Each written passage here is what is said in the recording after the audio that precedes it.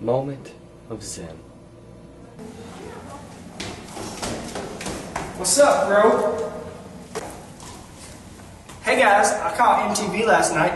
It was the Diggity Shiggledits. Alright, Grasskies, I'll catch you on the flip side. Trey, dude, we gotta do something about Noah, man. He's cramping our style, man. Yeah, I know. Who can we get?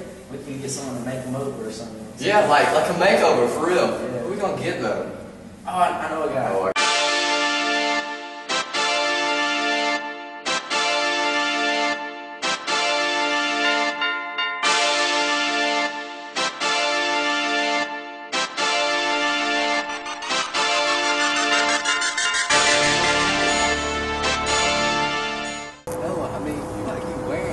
like stretched out tee, and you got the you got the brown belt. Like, what are you doing? Like, what up, AD? What's, up? What's up? Man? Hey man, we need your help, dude. Noah's killing our swag, and we got no game when we're out. Noah, you got to do something about how he dresses.